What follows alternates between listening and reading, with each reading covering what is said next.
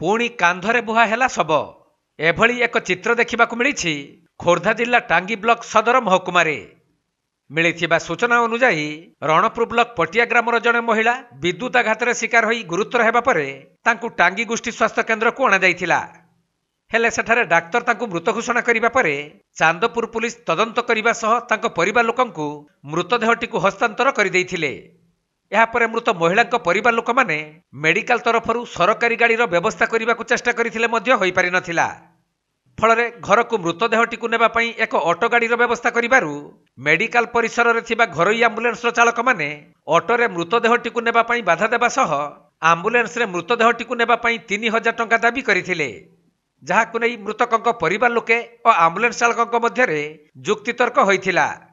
ଆଉ ଶେଷରେ ନିରାଶ ହୋଇ ତାଙ୍କ ପରିବାର ଲୋକମାନେ ଶବଟିକୁ କାନ୍ଧରେ ବୋହି ନେବାକୁ ବାଧ୍ୟ ହୋଇଥିଲେ। ଲାଷ୍ଟ ମରିଗଲା କରେଣ୍ଟ ଲାଗିକି ମରିଗଲା। ଆମେ ପୋଷ୍ଟମର୍ଟମ ନାହିଁ କଲୁ ଆମେ ଥାନା ଆଶ୍ରୟ ନେଇକି ଆମେ ନେଇକି ଯାଉଛୁ ଗୋଟେ ଗରିବ ଲୋକ ଭିକାରୀ ଲୋକଟେ। ଆମେ ସାହାଯ୍ୟ ଦେବା ପାଇଁ ଆସିଥିଲୁ ସେ ଯୋଉ ଗାଡ଼ି ପ୍ରାଇଭେଟ ଗାଡ଼ି ଯୋଉ ଆମ୍ବୁଲାନ୍ସ ରଖନ୍ତି ଏ ଭିତରେ ସେ ଆମକୁ ଛାଡ଼ିଲେନି ଖାଲି ତିନି ହଜାର ଟଙ୍କା ପକେଇବାକୁ ନଦେଲେ ଆମେ ଯିବୁନି। ଆଉ ଗଲେ କ'ଣ ଆମେ କରିଦେବୁ? ଆମେ କାନ୍ଧେଇକି ନେଇକି ଯାଉଛୁ କ'ଣ ହେଲା କ'ଣ ହେଲା ଏମିତି?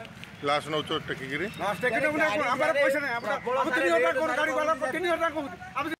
ଖୋର୍ଦ୍ଧା ଜିଲ୍ଲା ପ୍ରତିନିଧି ପ୍ରଶାନ୍ତ କୁମାର ବେହେରାଙ୍କ ରିପୋର୍ଟ କୋଣାର୍କ ଲାଇଭ୍